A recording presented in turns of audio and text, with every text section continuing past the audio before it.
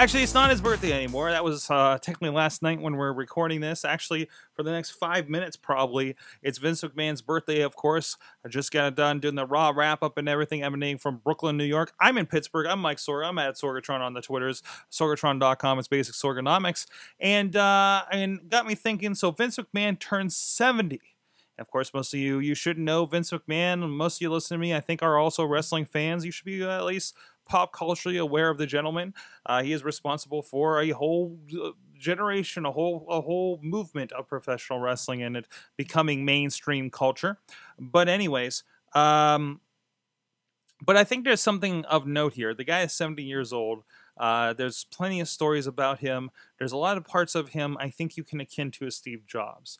And uh, again, also technology being part of my kind of purview, my my scope uh, things I'm into and talk about, and, and, seeing all the people kind of idolize and put uh, somebody like a Steve Jobs on a pedestal, and I think to a certain point, uh, they should be, they should be doing the same with Vince to an extent. Now we always hear these stories, we always hear, oh, he was, he was an asshole about this, that, and the other thing. But I think there's a certain thing, successful people, quote unquote, that especially at that level, they're just not going to jive with.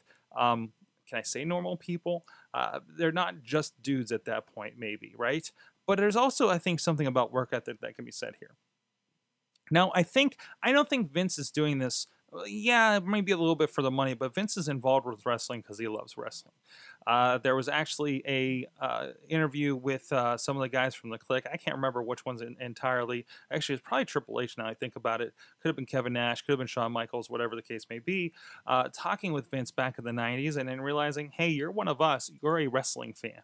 Regardless of your position with this company, what you built with this company, you are a wrestling fan. And I think that's very significant. Uh, I and I always call back to uh, some of my my guys that I listen to for motivation, like the Gary Vaynerchuk's, and they talk about working and outworking other people and that work ethic. And maybe that's why you're not at the point where you think you should be because you haven't worked harder than the next than the next guy.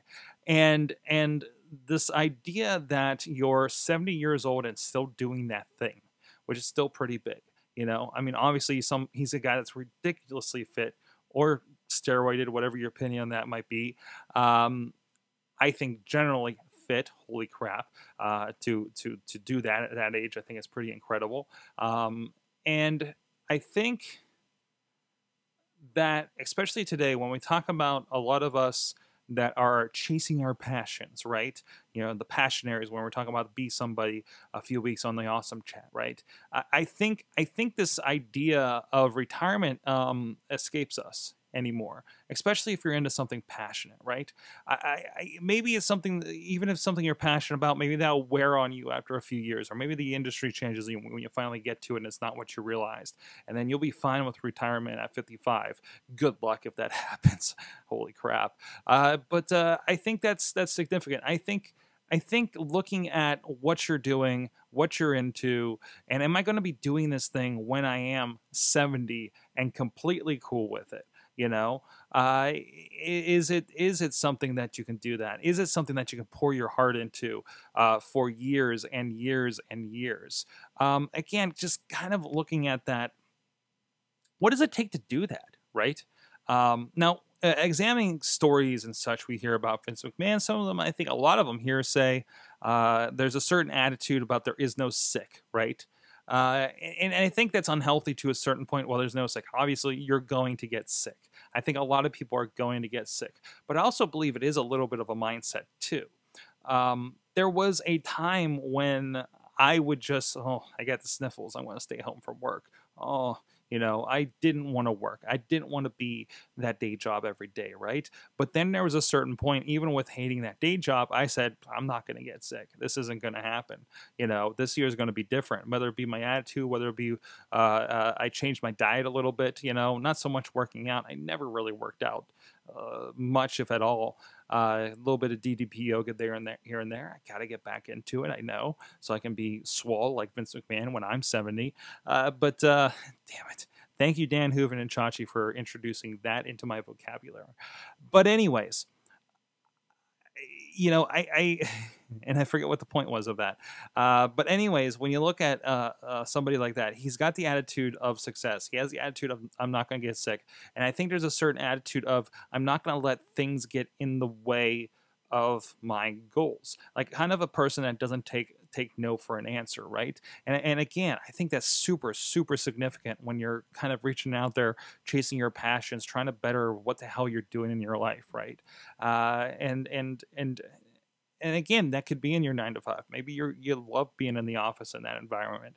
Uh, it's not for me, you know. Uh, it's not for a lot of people out there that are discovering these other things. Now, for him, obviously, it's building a giant corporate behemoth the way he has, and with the right people lined up with him, that he can do something like this. But by all accounts, he's still the hardest working guy in the room, and and leads by example in that regard.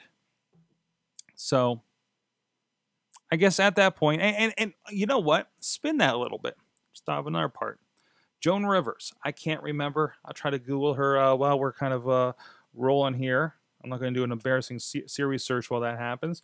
Joan Rivers, uh, I believe, very much died doing what she loved. She was, what was she in her 70s? She was doing the math here. Born, died, 33.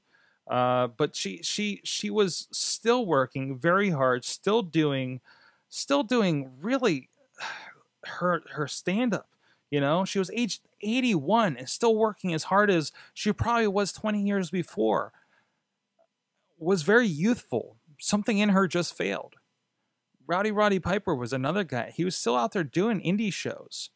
I don't know what the most recent one was. We saw him here locally in uh, 2012 12 and and just enjoying it. And and and and obviously he wasn't nearly as old at what 61 i think he was you know? But but i think that's amazing. Uh, i i think there's this this this attitude of and whether they're like super successful like a vince mcmahon joan rivers vince is going to work until he's dead. You guys know that right? He's pretty much working until he he keels over. And i think he wants no other way. And I think that's okay, especially if that's the thing you dig. Some people stop and say, I'm just going to spend time with my families. That's it. Work isn't the most important thing. And maybe it's not the most important thing, but it's an important thing for him. And that's how he, I don't know if you can call it justifies his life or, or, or, or keeps himself grounded or whatever the case may be, but it's a motivationer most motivational thing and and here are these people. I think a lot is to be said about keeping i don't want to say you know say keeping active like this and keeps you out of the old folks home i guess right? Um, things fail but i think i think it is mental i think it is physical and especially if you're chasing something like this whether it be comedy and, and, and entertainment like joan rivers or that thing that Vince McMahon does with professional wrestling, right? Uh, and and and I think you know we don't have to be as successful as Joan Rivers and Vince, but uh, we can be successful to ourselves. So that's my thoughts there. Happy birthday, Vince McMahon. You're missed in our, in the limelight, Joan Rivers, and uh, I hope that some of us learns a little bit of something from uh, the legacies that both of you keep. Basic Sorganomics, let me know what you think. Uh, Sorgatron.com for the comments or on the video on YouTube. Please subscribe to me on whether venue you like to listen or watch. We have other things that also include my voice over at sorgatronmedia.com, including client podcasts. We can help you too at Sorgatron Media Services. Uh, if you want to get into podcasting and or social media or anything, uh, video, audio, or, or or storytelling to get your word out there, please uh, hit us up at Sorgatron Com. Sign up for the newsletter as well. I got some writing and some of my favorite podcasts of the week up in there. And uh, we'll see you guys next time. This show is a member of the Sorgatron Media Podcast Network. Find out more at sorgatronmedia.com.